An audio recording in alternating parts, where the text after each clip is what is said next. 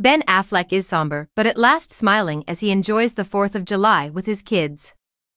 Jennifer Lopez takes some time to herself. Jennifer Lopez is on her own vacation in the Hamptons, while Ben Affleck is pictured grinning with his children on July 4. Ben Affleck exchanged scowls for cheers.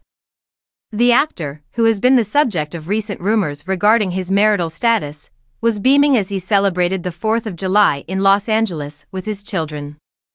Jennifer Lopez, his wife, wasn't quite in the same festive spirit, though. The singer was seen enjoying Independence Day alone in the Hamptons.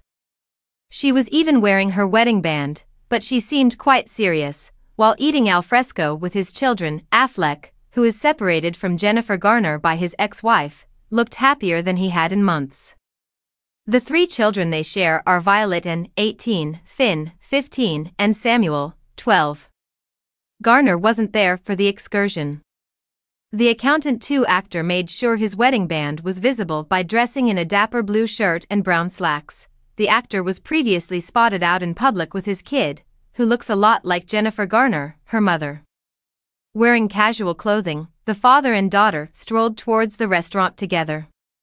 Ben, who has a reputation for being reluctant to be photographed and frequently appearing serious during previous outings with JLO, appeared particularly happy and festive this time, likely dispelling any rumors of marital strife.